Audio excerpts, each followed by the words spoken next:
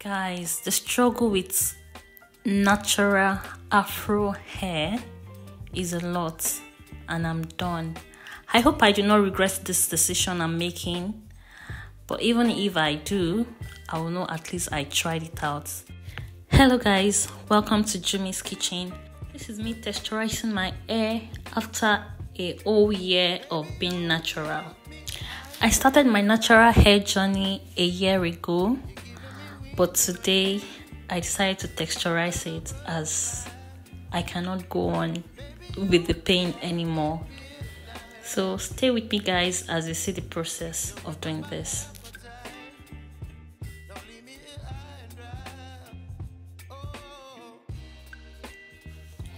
The product I'm using is called Olive Miracle. I got this from a store and it has three three products in it.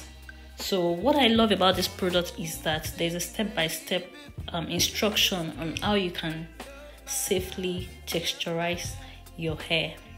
Before I made this decision, believe me, I've tried so many products for my natural hair, most of which have worked, but usually they work for a day or so, but hair gets soft for like a day or two days and I'm done.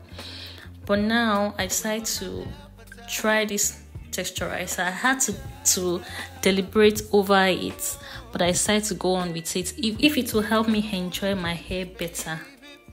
Okay, because your hair is meant to be enjoyed. You're supposed to be able to comb it, brush it out, and just enjoy it. Okay, and at the end of this video, you can tell that this is my time to enjoy my hair okay? So i'm not saying you have to texturize your natural hair. You don't have to do it. I'm just showing you the process i did in achieving mine. So this is not a how to do it video really. I'm just sharing my experience with you okay? Especially for people that have quite um thick and voluminous hair this could just be what you need okay. So at this stage i'm just massaging the hair over and over since i cannot comb it out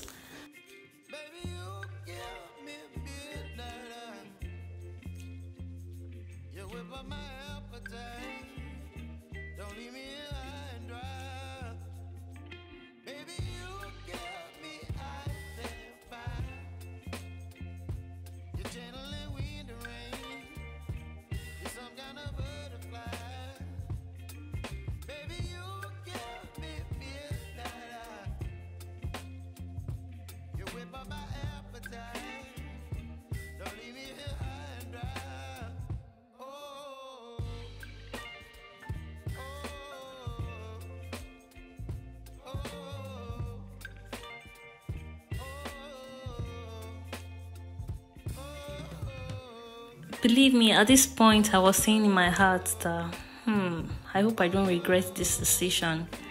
Although it says in the instruction booklet not to comb it out, so that's why I'm not using the comb on it, okay? But I'm still doubting it. but what is done is done, okay? It's been 8 minutes since I started this process, and now I'll go on to wash it off. I'm using the shampoo and the conditioner at this point, I was really, really scared for the big unveiling. Hmm, when I saw this, I screamed in my heart. But then, touching it, it feels so different. So I decided to comb it out. Apparently, I cannot leave it this way. So I'm combing it out. Guys, it feels so soft. So soft and tender and luscious. It feels so rich you know, like what I want my natural afro hair to be like. Oh, now I'm so excited. So at this point, I knew I made the right decision. Believe me, I would let you know in weeks to come what it looks like, okay? If it is really worth it. I hope I'm not just feeling it because I'm just doing it for the first time. And I hope and believe that it will not damage my hair now i'm adding my oil for moisture and now I'm just going to be styling it. Don't laugh at me. I'm using one of my crochet stand, just one out of the crochet I have to pack it because I don't want to use um the tight the tight band on it it gives me headache. So i'm just using this. And i'm using a technique that i learned online to make a very nice and pretty style. At this point the hair is dry and it's giving all that it has to give. Ah, i was so excited. I was so happy that finally i found a solution for my hair. Finally i can enjoy my hair. It still feels natural in fact it is natural because i still have my curls and i don't need to it, it's not silky you know like a relaxed hair it's still natural coily and it's bouncy. Yes very bouncy. So do i regret this? No i do not. But in case i do in the next in the few weeks to come i'll definitely update you